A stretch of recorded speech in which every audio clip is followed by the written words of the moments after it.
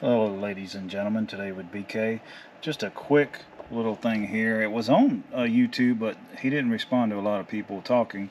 But as cool as this is, this was a museum delivery to this gentleman, Anthony McMahon, uh, Tony Mack. If you see this and you want this plaque back, I'll be glad to work with you to get it back to you. Um, just let me know. But I'm going to take it off. What I'm going to do is try to put a, a pry tool pry tool down back here, but I want to put a rag, or uh, excuse me, a, a, cloth against it so we don't mess anything up, and then we'll get it popped out.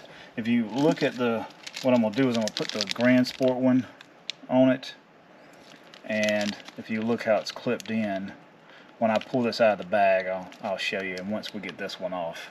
So, so I can put the camera down with one hand, uh, so I can't I can't do this with one hand. So I'll put the camera down and I'll be back in a second. Alright so I did get it started from the back side as you can see it just pulls out. So there's your there's your piece. There's the back piece showing you the little tabs there.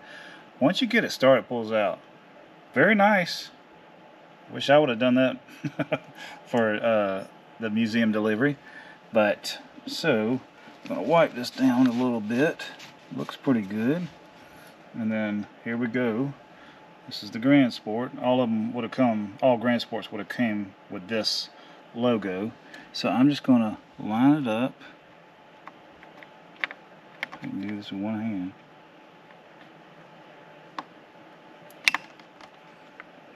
There we go. Let's see if I can find the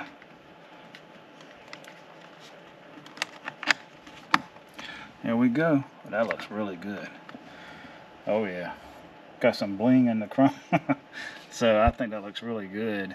Um, yeah, just once again, if you see, uh, it definitely makes a difference. That museum delivery, that's pretty rare. I mean, only anybody that had it delivered to the museum, and then they had their their name and the VIN in it. So, uh, but Tony Mac, hit me up if you want this. I'm gonna put it in my little collection and then um, who knows? Somebody may see this and say hey that was your car or whatever just appreciate the way you took care of it.